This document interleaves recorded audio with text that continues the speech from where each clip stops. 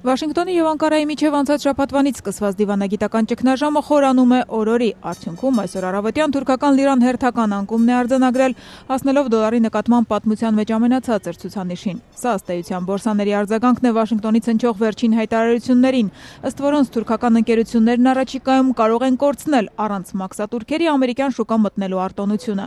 Ավելի վաղ անցած շաբաթ Սպիտակ տունը պատժամիջոցներ էր սահմանել երկու թուրք նախարարների նկատմամբ, սառեցնելով նրանց հաշիվներն Ամերիկայի Ամերիկայի տարածքում։ Փորձագետները փաստում են, թուրք պաշտոնյաների դեմ այդ պատժամիջոցներն առավել խորհրդանշական բնույթ ունեին։ Մինչդեռ թուրքական ապրանքներն այսպես կոչված free ռեժիմից ազատելը կարող է իսկապես ցավագին լինել Անկարայի համար։ Ամերիկայի առևտրի գործակալության տվյալներով անցած տարի միայն թուրքական ընկերություններն ավելի քան 1.5 միլիարդ դոլարի ապրանք են ներմուծել նահանգներ, ինչը առաջիկայում կարող է հարկվել։ Մինչ այդ Թուրքիայի շարքային քաղաքացիները ստիպված են ամեն օր հաշվել կորուստներն ու խոստովանել, ապագայի նկատմամբ լավատես չեն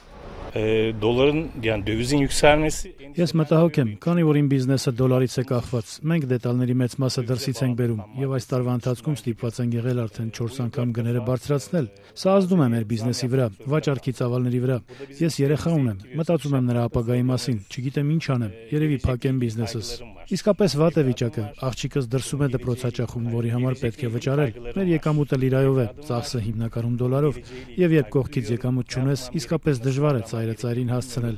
işletmemi kapatmak zorunda kalabilirim. Sonrasında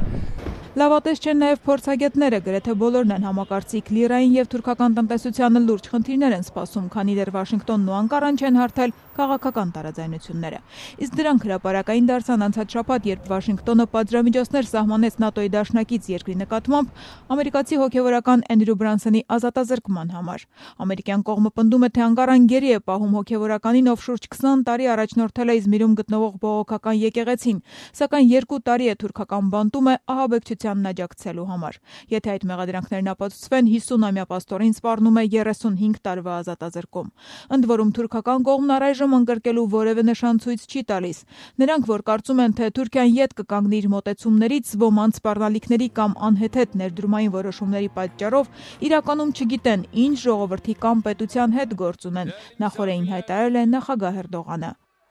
Papaz Bronson olayıyla alakalı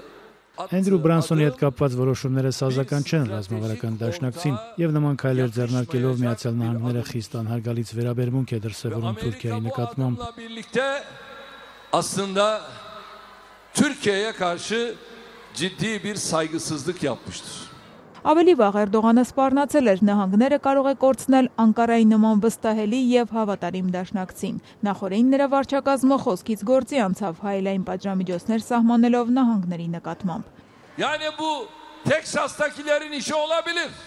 Մենք սպասեցինք մինչև 3 գիշեր, այժմ ես կարգադրում եմ իմ գործընկերներին սառեցնել Միացյալ Նահանգների ներքին գործերի ու արդարադատության նախարարների Թուրքիայում ունեցած հաշիվներն ու կալանք դնել նրանց ունեցած սեփականության վրա։ Türkiye'deki mal varlıklarını donduracağız varsa.